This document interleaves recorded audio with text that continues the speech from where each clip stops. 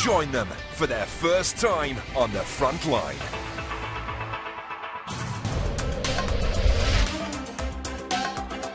The West Midlands Ambulance Service has over a thousand paramedics on its books. One of the youngest and newest is 22-year-old Sam Duplessis Grimson. Good job. Off we go. On his first shift, Sam's attended a man who banged his head and a baby who overdosed on medicine.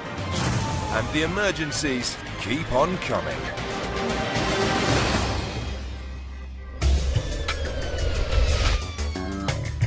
On this shift, Sam's been paired with experienced colleague Kat Moore. Their latest 999 involves an elderly woman who's collapsed at home. One side's gone weak, so uh, history of a previous heart attack as well. So they're querying sort of a stroke or something like that. Even though he's the junior partner, it's Sam's turn to take the clinical lead. So she's just suddenly not with it and she's not herself. Thena's daughter's worried she's suffered a stroke.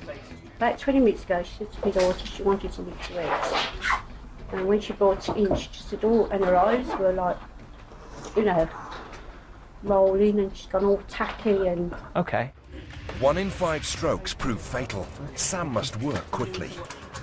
Fina, hello Fina. My name's Sam from the ambulance service. How are you feeling, my love? Not great? Okay. You able to open your mouth and stick your tongue out? Like that? Yeah, uh, okay, fantastic. He needs to eliminate other possible causes of Thena's symptoms. She's diabetic and may be in hypoglycemic shock.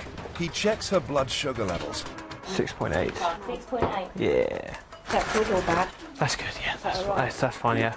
Sam's examination convinces him Thena has suffered a stroke. She needs urgent care. What we want to do is pop you in our chair, okay? But she's 84 and fragile. Moving her could cause injury. Oh, sorry, Nan. There we go. There we go. Hands on. Sorry, Nan. Alright. The team needs to get her up the ramp and onto a stretcher, smoothly and swiftly.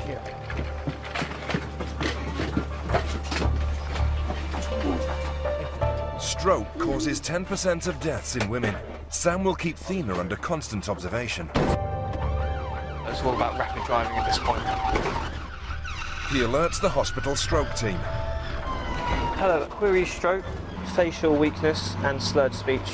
Yeah, left side. Pulse is uh, 83, uh, BM 6.9. And all the time, he tries to keep his patient awake.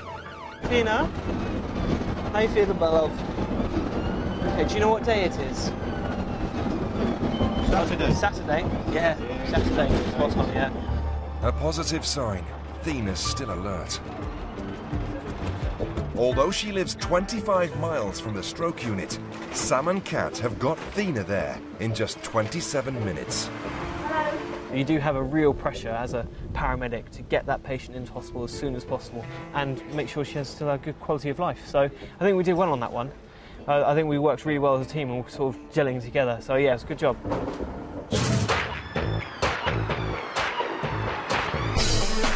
West Midlands Ambulance Service receives 3,999 calls every day. More than enough to keep rookie paramedic Sam fully occupied. On this hectic shift, he and mentor Kat are responding to yet another emergency. a six-year-old male at the walk-in centre in Solihull with an allergic reaction to cashew nuts. Nut allergies are increasingly common, affecting half a million people in Britain. The most severe reactions lead to anaphylactic shock, and that can be fatal. You can have airway compromise, your your airway will swell up and potentially become occluded, which then puts you at risk of respiratory arrest. Look at that, police escort. Shutting off the roundabout for us, Yes. legend. Woo!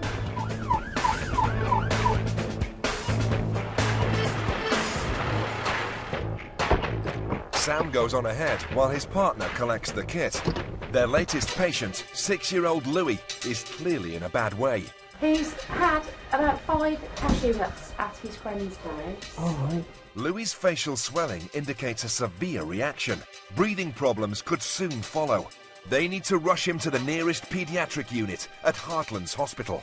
I've been there a few times before, haven't we, babe? Oh, yeah, Oh Give him a no. cashew Wheezy, uh, no, wheezy chest when he was a baby. The child's history of breathing problems is a concern. And trip up to hospital. For a rookie paramedic, this is a major challenge. Louis could deteriorate rapidly. Can I just pop these straps on you? Just make sure you're all secure, okay? I promise, mate, is a good driver. Just be on the safe side, alright? It's going to go a little tight on your arm, okay? Just measure how strong you are. Alright. So try not to break it, okay? There you go. During the journey, the little boy's mum grows increasingly anxious.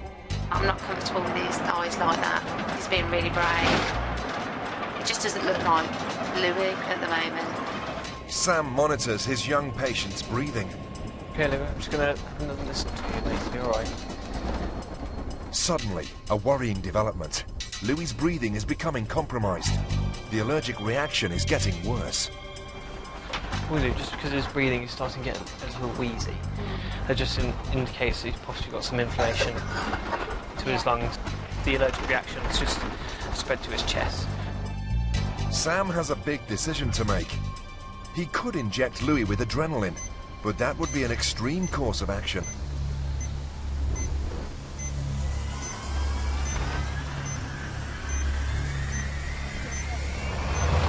Instead, Sam opts for a nebulizer to open Louis's airways and hopefully deal with the immediate threat to life. But now there's another problem. Louis's throat might be closing up, a common cause of death in anaphylactic reactions. Sore throat? Yeah. Hey, buddy. Oh. A big cough. Put this back on you, mate.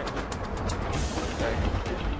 Kat's already driving at speed, but she checks with Sam to see if she should go even faster. Give me a shout if anything changes and you need me to. He's just on a neb now. For the first time today, Sam's feeling the pressure. How you feeling now, Louis?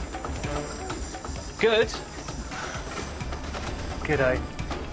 Sam assesses Louis's breathing. It looks like his condition has stabilized. Louise is still there, but it's no worse. And his heart rate is stable too. My machine here says you're very, very strong. You're strong. You nearly broke it. You're stronger than me.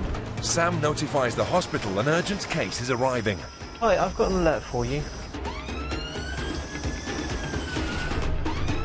Go, Lou, you got your blue light. You hear the neon? These are for you, huh? They reach the hospital, where despite being stabilized, Louis will need immediate specialist care.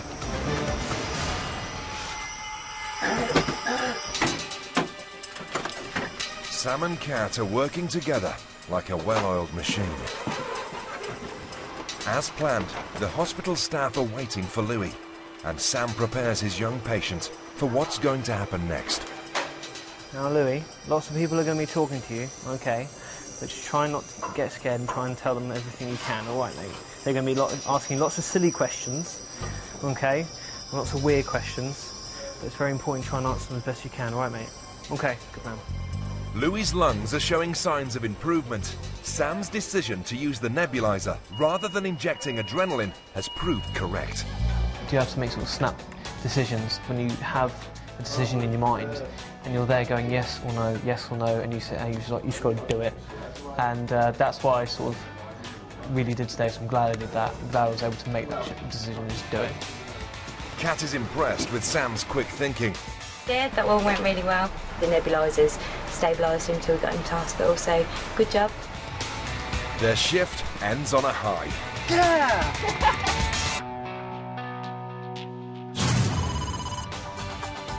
Sam's patient Thina was diagnosed as having a stroke, but she recovered in hospital and returned home 48 hours later.